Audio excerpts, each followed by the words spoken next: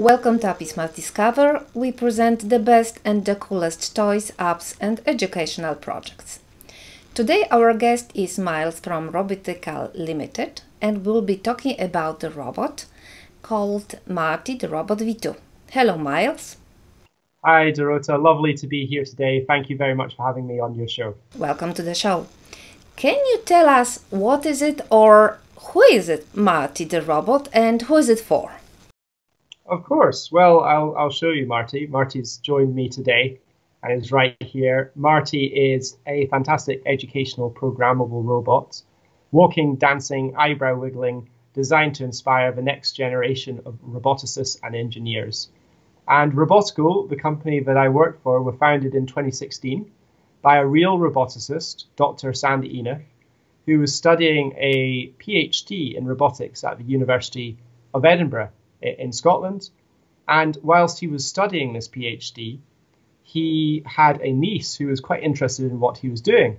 Yet everything on the market at the time to inspire a, a girl like her was either you know, expensive, very academic, difficult to use, or else simply a novelty remote control toy. There wasn't really uh, something that Sandy felt reflected the type of robotics work he was doing at an accessible, you know, in an accessible way for this next generation. So he came up with Marty, this fun character, and uh, he was determined to get Marty into schools around the world. And so he founded Robotical, and I joined uh, in the early days of the company's foundation. And subsequently, we've now grown the team, and we've sold over 7,000 robots worldwide. And could you tell us who is it for? What's the age of the people who play with Marty, learn with Marty? So Marty Robot is designed for kids primarily 8 to 12 years old. You know, older primary school kids or younger uh, secondary school kids primarily. But there is a bit of leeway either way. So we do actually with Marty version 2 have a screen-free function that allows teachers to introduce robots to a slightly younger age group as well. And if you really get on great with Marty, you can add new sensors, you can connect Marty to a Raspberry Pi, and you can program in real languages like Python, uh, which makes the robot suitable for some older children too. Um, but we felt for our marketing purposes and for the company's mission, it was best if we focused on this older primary school age group or younger high school age group, because it was at this point that we think that many kids are put off doing STEM subjects for whatever reason. Um, and we wanted to change that, make STEM more accessible for a wider range of kids, not just potentially you know, the stereotype of, of person who might be interested in, in maths and physics. Um, we wanted people to think, well, this can be really good fun, and it's suitable for girls, boys, whoever.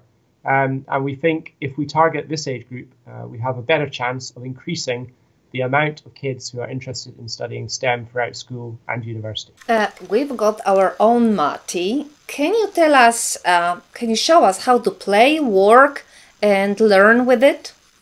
Yes, I'd be, I'd be delighted to. So um, I have Marty here in front of me, and uh, whilst obviously it would be nice to be uh, interviewing in person to show exactly how Marty works, it's great that you've got one in front of you too. But what I'm going to do is just show you a bit of, of how to how to program Marty. And to do this, I'm just going to share my screen, Dorota, if you don't mind. Uh, you might just have a look at my screen. Can you see that there? Yes, perfectly. So what I have here is a program called Scratch. Now, Scratch allows you to build a sequence of events using block code um, to program a robot but this, this is a programming language suitable for kids because rather than typing commands on a screen, you have pre-built blocks that make the programming and the idea of sequencing very accessible. So I'm just going to start right from the beginning here. If I wanted to create an event, okay, so this could be uh, if or something is clicked, then something will happen. So I, I'm going to drag across this block here when the green flag is clicked. Okay, so that's a simple command, an event that is defined by this uh, sequence. And I then can bring up my Marty robot blocks. I'm going to get ready because it's always useful to get Marty's motors in uh, functioning. and ready to go. So, like in, in sports, you might want to be in a ready position. Uh, Marty does too as a humanoid robot. So let's put that get ready block in. And I'm going to start with a fun block that a lot of kids love. It's the wiggle.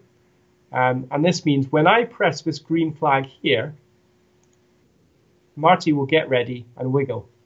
So if I stop sharing the screen, I'm now going to show Marty.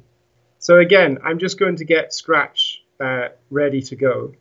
And um, when I press the green flag, Marty should get ready and then wiggle.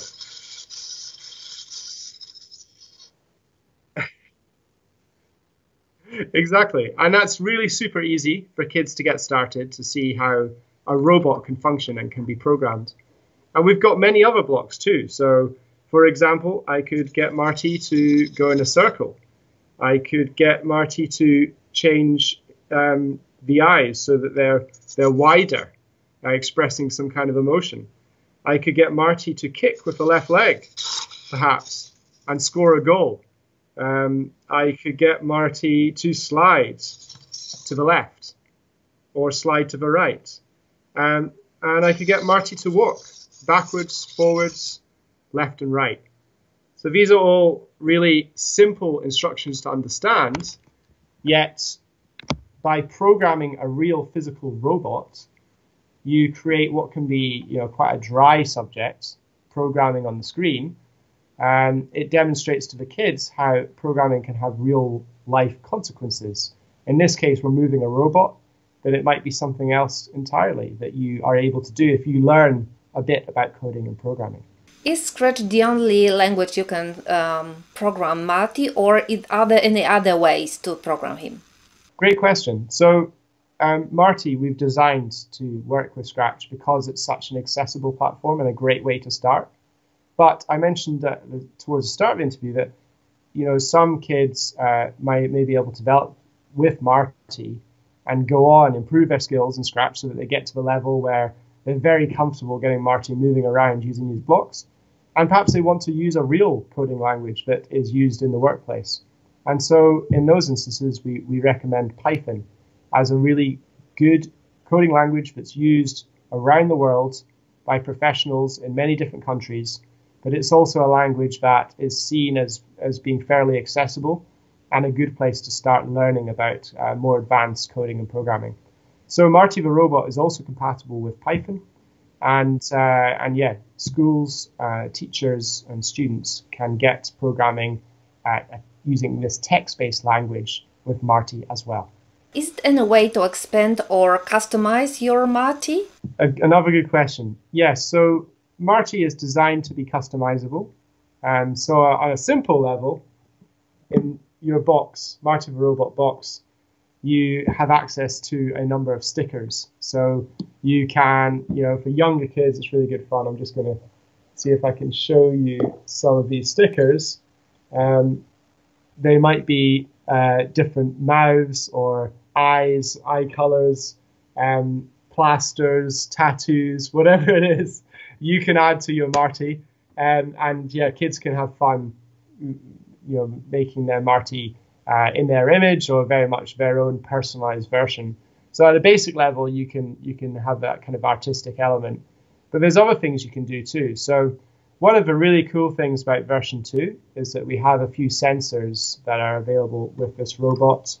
Um, again, I'm not sure how well you can see here, but on the foot of Marty, I have a color sensor that's attached. You may have it um, on your side as well. Now, this is a really cool development. Um, and again, it's something that you can add to your robot so that I could program Marty not even using another computer, simply by using some color cards. So in this instance, I'm going to select the back of Marty's head, there's a button here. If I press that button, I go into screen free mode, okay? And this means that I can use a color card to create an instruction. So um, let me take the color green.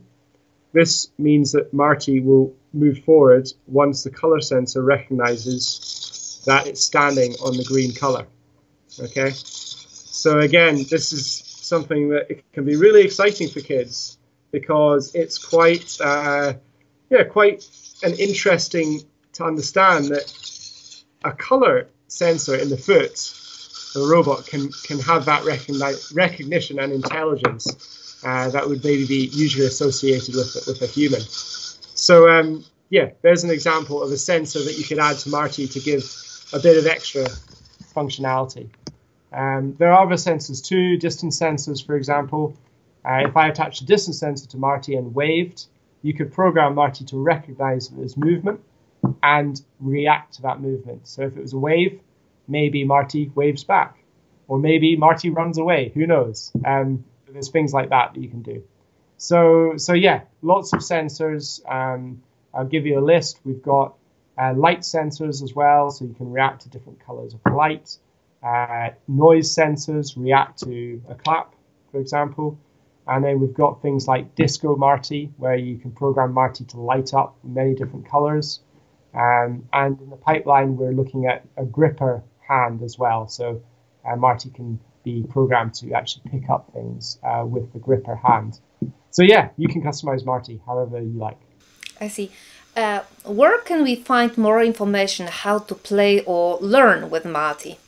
Yeah, um, a good question again. So uh, the best place to go for information about Marty is via the Robotical website.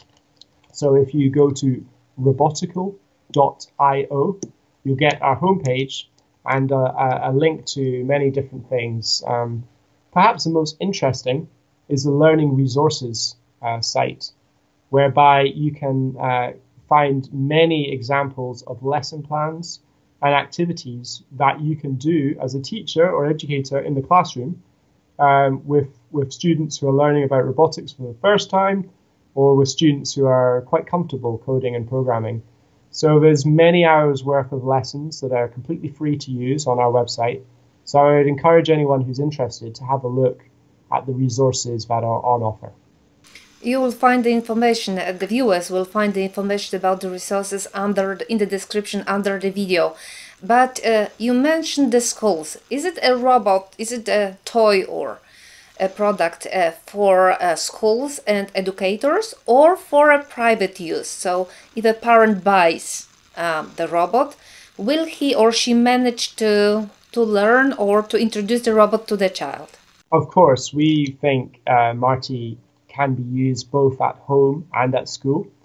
Um, I have to say, as an organization, we until to date we've been focused on getting Marty into as many schools as possible, as we feel that through schools we can really reach a lot of different children.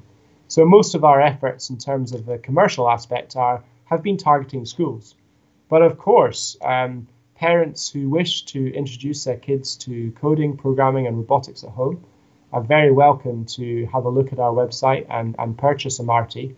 And they can be um, you know, uh, safe in the knowledge that there are lots of resources and activities designed to help educators uh, in classrooms, and parents, of course, can use many of these materials as well if they're wanting to do a bit of homeschooling, for example, during this coronavirus pandemic that's affecting so many of us, um, or uh, you know, or just for fun, um, something as a as a kind of uh, a great way to to learn about coding and technology together.